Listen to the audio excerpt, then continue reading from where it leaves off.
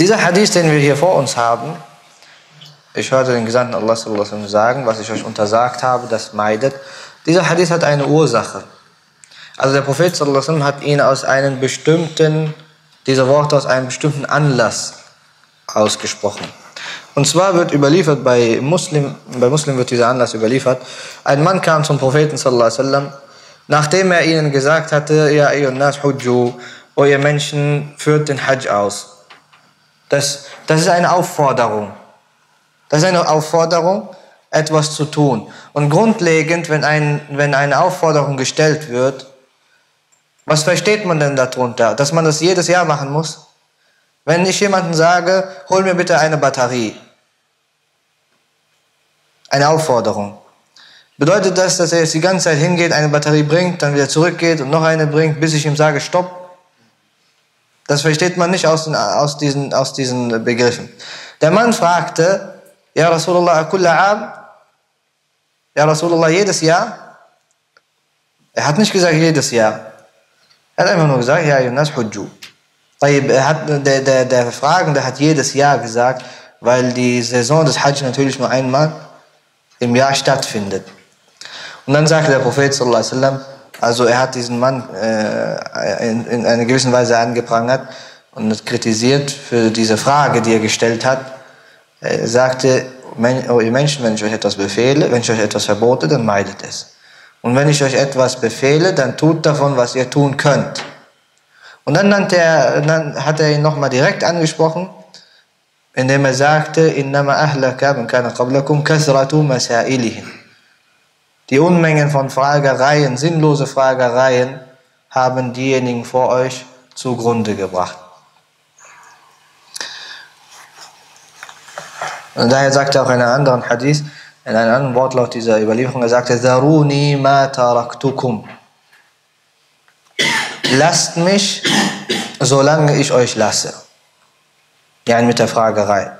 Denn wenn ich euch etwas anbefehlen will oder zu etwas auffordern will, dann werde ich euch dazu auffordern. Übereilt euch nicht. Das, dieser Hadith deutet auch darauf hin, dass übermäßiges Stellen von Fragen eine nicht lobenswerte Handlung ist. Übermäßiges Stellen von Fragen, sinnlosen Fragen, die wir weder in Ferne noch in der Nähe nutzen.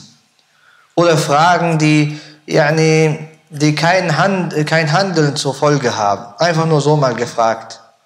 Er will es gar nicht machen, aber er will es einfach nur wissen. Oder es sind Fragen, die überhaupt nicht zu Handlungen führen können. Wie zum Beispiel, hat Iblis geheiratet? Hat Iblis geheiratet? Äh, ich glaube, Al-A'mash wurde über äh, Al-A'mash wurde diese Frage gestellt. Und dann sagte er, er sagte, er sagte, das ist eine Heirat, an der ich nicht teilgenommen habe.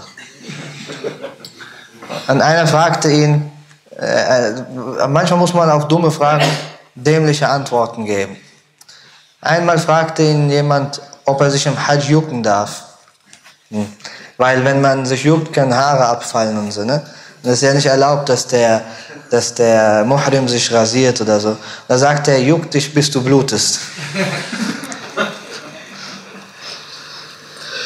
Oder einmal fragte ihn jemand, wie hast du geschlafen? Wie hast du geschlafen? Dann ist er, sagt er, komm mit, hat sich auf sein Bett gelegt und sagte so.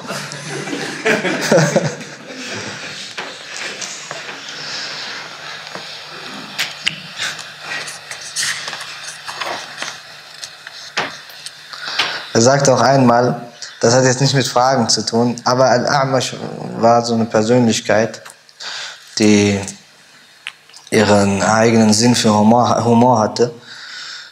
Einmal hat er mit einem Freund gesessen, er war aber auch sehr hart in seinem, äh, in seinem Charakter, er war ein sehr grober Mensch. Auch so zu seinen Tullah war er sehr hart. Seine Schüler haben viel mit ihm durchgemacht ähm, er hat einmal mit einem seiner Freunde gesessen und hat ihm die köstlichsten Speisen genannt. Er sagte, ja, Fulan, willst du so und so essen? Ganz köstliche Speisen. Dann sagt er, ja, bitte. Dann sagt er, komm, gehen wir zu mir nach Hause. Dann ist er nach Hause gegangen und hat ihn äh, zum Sitzen aufgefordert, hat ihm trockenes Brot gebracht und keine Beilage oder so. Sagte, dann sagte er, du hast doch eben von so und so gesprochen. Sagt er, ich habe nur gesagt, ob du das gerne essen möchtest. Nicht, dass ich dir das anbieten will.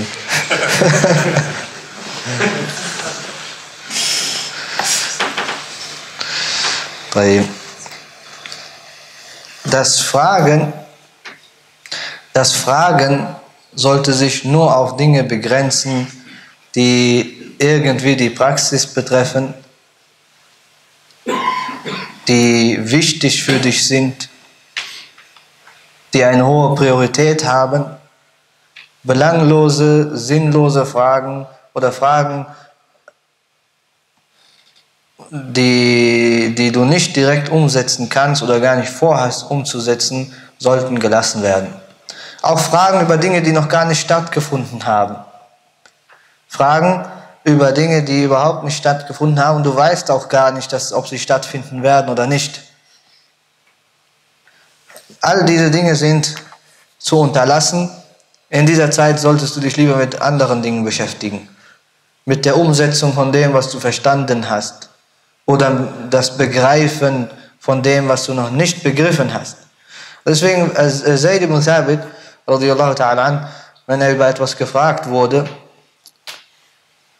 das noch, er, er fragt er immer, Akan, ist es, ist es stattgefunden, hat es, ist es passiert? Ist es passiert? Ist es aufgetreten? Wenn man ihm sagte nein, dann sagt er, dann frag, wenn es passiert. Und diese, die, diese, diese Art von Antwort haben viele der Salaf äh, praktiziert. Viele haben so geantwortet. Ein Mann fragte Ibn Umar, radiallahu anhuma, über das, über das, äh, den Istilam al-Hajar. Istilam al-Hajar al-Aswad, das Berühren des al-Hajar al-Aswad oder Taqbil al-Hajar al-Aswad. Das Küssen des Hajar al-Aswad, das, das wurde Umar gefragt, warum man das tut. Umar ibn Khattab wurde darüber gefragt. Nein. Und dann sagte er, er sagte, رأيت رسول الله صلى الله عليه وسلم يفعله فقبلته. Ich habe den Prophet صلى الله عليه وسلم gesehen, wie er das getan hat. Darum habe ich das auch getan. Fertig aus. Mehr gibt es da nicht zu sagen. Ibn Umar wurde gefragt über das Berühren des Hajar. Und dann sagte der Fragende, was ist, wenn ich gedrängt werde an der Stelle? Oder wenn es Stau gibt?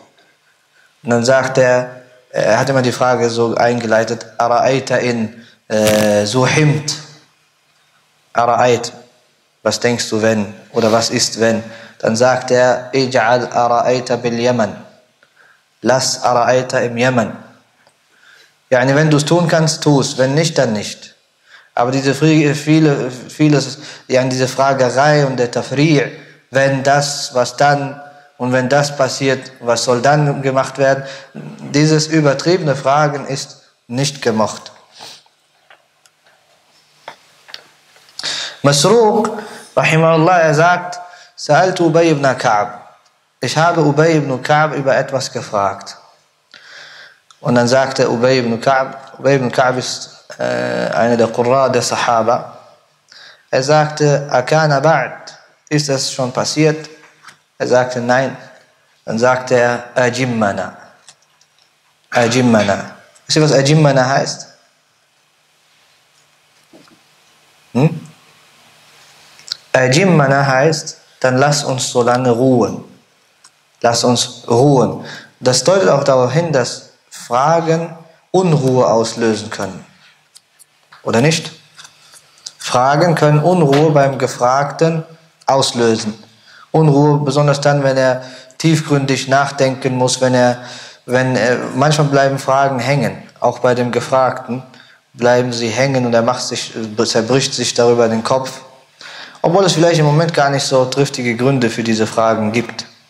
Und deswegen sagt er, Ajimmana, lass uns ruhen. Al-Ijmam bedeutet Al-Istiraha oder Al-Iraha. Na. Und deswegen sagt er dann, فَإِذَا كَانْ Wenn es passiert, اجتهدنا لك رأينا.